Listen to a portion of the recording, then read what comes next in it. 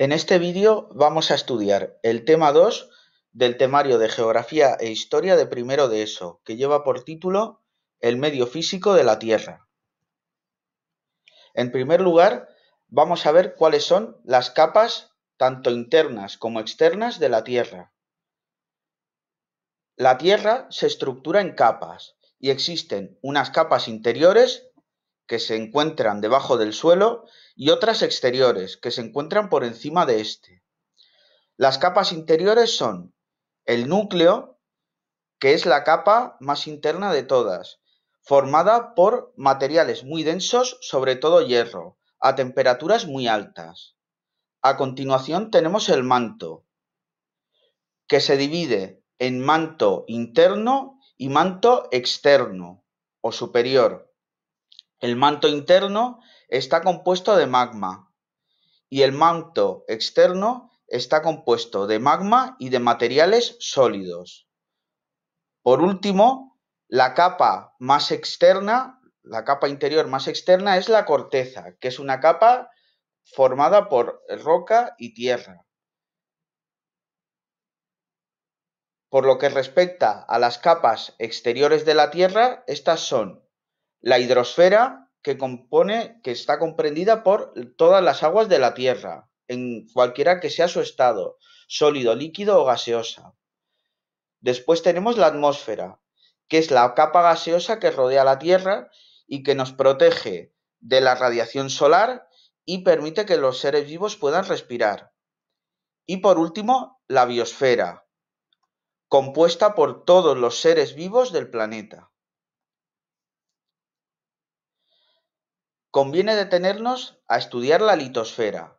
La litosfera es la corteza más el manto superior, es decir, aquellas capas internas de la Tierra eh, con temperaturas lo suficientemente bajas como para que haya roca sólida.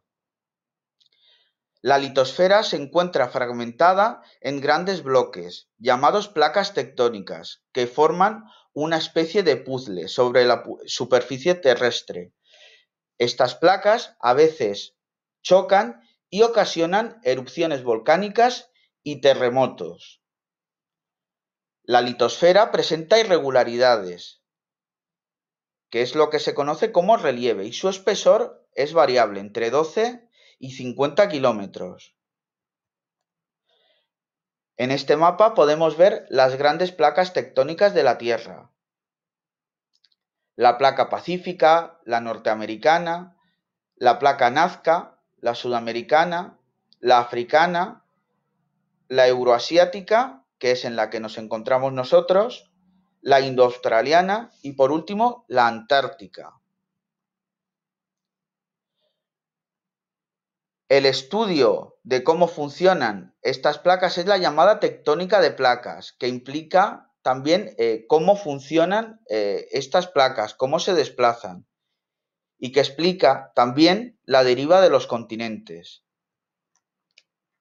Aquí tenemos la imagen de un volcán. Los volcanes son fisuras en la corteza terrestre a través de las cuales se liberan eh, grandes cantidades de magma a temperaturas muy altas. Aquí podemos ver un terremoto, los efectos de un terremoto, que también eh, se origina cuando chocan dos placas tectónicas.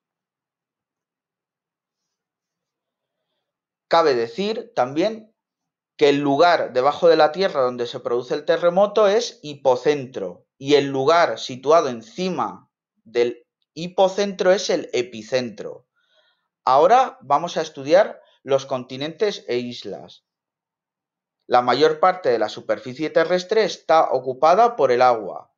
La proporción es un 29% de tierras emergidas y un 71% de agua.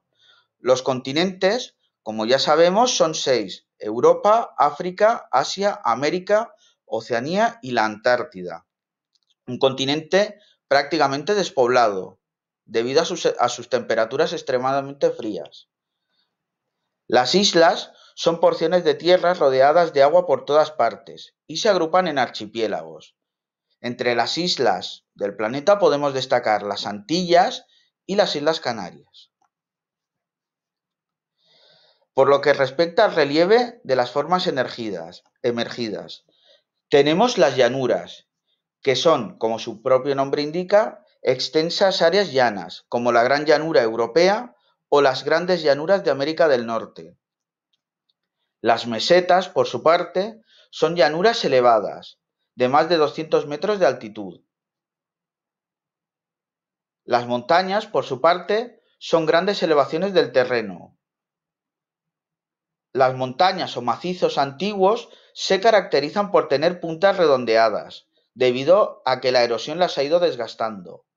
Las montañas o macizos jóvenes, por el contrario, suelen ser más puntiagudas porque son más recientes.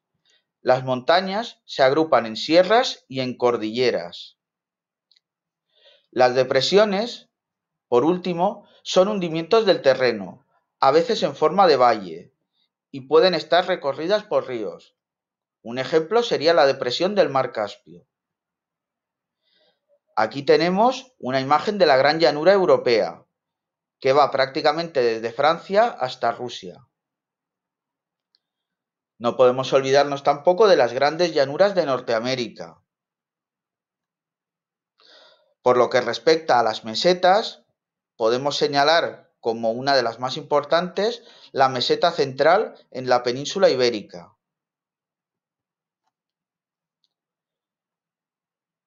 Aquí tenemos ejemplos de macizos eh, relativamente jóvenes, ya que las montañas aparecen eh, bastante puntiagudas, aunque otros cerros aparecen más redondeados.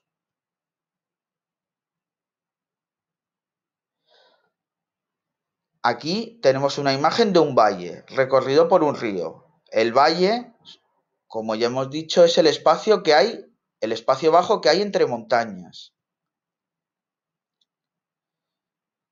Aquí tenemos una imagen del Mar Muerto, situado en eh, una depresión eh, y constituye uno de los lugares más profundos del planeta, eh, uno de los lugares en, tierra, en tierra firme. El Mar Muerto también es famoso porque la cantidad de sal es tan elevada que las personas flotan al bañarse en él, como podemos ver en la imagen. A continuación vamos a ver el relieve de las tierras sumergidas. Al lado de la línea de costa tenemos la plataforma continental, que es una suave pendiente que prolonga el continente, de ahí su nombre, y que acaba en el talud continental. El talud continental es, por decirlo así, una gran pared que marca el fin de la plataforma continental y el comienzo de las llanuras abisales, que se encuentran a 4.000, 5.000 metros de profundidad. Se encuentran también jalonadas por una especie de montañas que son las llamadas dorsales oceánicas y también por depresiones submarinas que son las fosas marinas. Aquí vemos un esquema del el relieve eh, de las tierras sumergidas el continente, a continuación la plataforma continental, que es una suave pendiente que acaba en el talud continental. A continuación tenemos las llanuras abisales, jalonadas por eh, montañas eh, que son las llamadas dorsales oceánicas. Si estas dorsales oceánicas sobresalen del agua, las llamamos islas. Por lo que respecta al relieve costero, tenemos las playas, que son superficies planas a orillas del mar, hechas de arena o de piedras. Estas playas pueden ser eh, playas bajas o playas acantiladas, si eh, tienen un acantilado. Los cabos son entrantes de tierra en el mar. Si son muy pequeños, eh, por lo que respecta a los golfos, son la superficie de mar situada entre dos cabos. En el PowerPoint está mal. Cuando un golfo es muy pequeño se llama bahía. Las rías y los fiordos son valles fluviales invadidos por el mar. Por último, las penínsulas son porciones de tierra rodeadas de agua por todas partes, salvo por una que se llama istmo. Aquí tenemos ejemplos de playas, de arena y de piedras. Aquí tenemos un mapa de la provincia de Alicante donde podemos ver todo el relieve costero, jalonado de cabos, bahías, etc. La forma de la Tierra ha ido evolucionando a lo largo de millones de años. Hace millones de años todos los continentes estaban agrupados en un gran continente llamado Pangea, que poco a poco se fue dividiendo, dando lugar a la actual distribución de los continentes. Esta distribución se produjo debido a la acción de fuerzas externas e internas. Por lo que respecta a los agentes internos de eh, la formación del relieve, tenemos entre los más importantes estos tres. La orogénesis, que es el proceso de formación de las montañas. Los terremotos, que son temblores de tierra ocasionados debido al choque de dos placas tectónicas. Y por último, los volcanes, que son grietas de la corteza terrestre por la que sale lava y gases del interior de la Tierra a muy alta temperatura. Aquí tenemos eh, que el choque de las placas tectónicas puede dar lugar a elevaciones del terreno, como es el caso del Himalaya, eh, fruto del choque de la placa indo-australiana con la placa euroasiática. Aquí tenemos eh, los terremotos. Como ya hemos dicho antes, eh, el lugar donde se localiza el choque se llama foco o también hipocentro, porque se halla eh, debajo de tierra. El lugar de la superficie terrestre más próximo al hipocentro es el epicentro.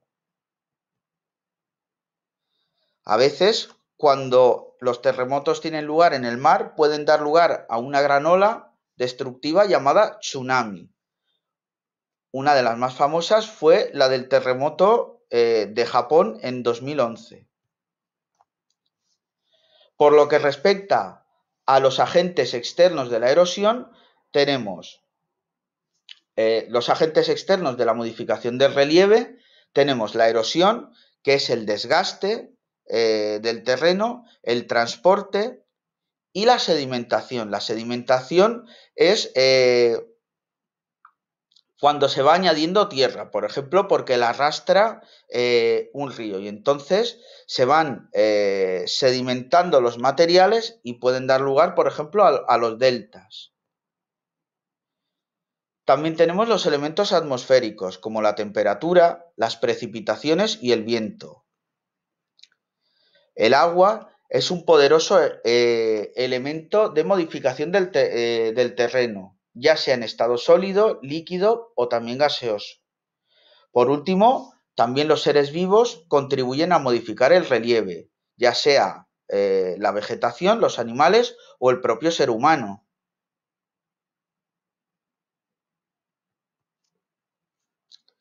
A continuación vamos a estudiar la hidrosfera. Las aguas marinas constituyen aproximadamente el 97,5% del total de agua del planeta y está repartida en mares y océanos. Como ya sabemos, eh, las grandes extensiones eh, de agua salada son los océanos. Eh, cuando hablamos de extensiones más pequeñas, hablamos de mares. Las aguas continentales suponen apenas el 2,5% y están divididas en ríos, glaciares y aguas subterráneas. El ciclo del agua es bien conocido. La evaporación permite que el agua pase de estado líquido a gaseoso.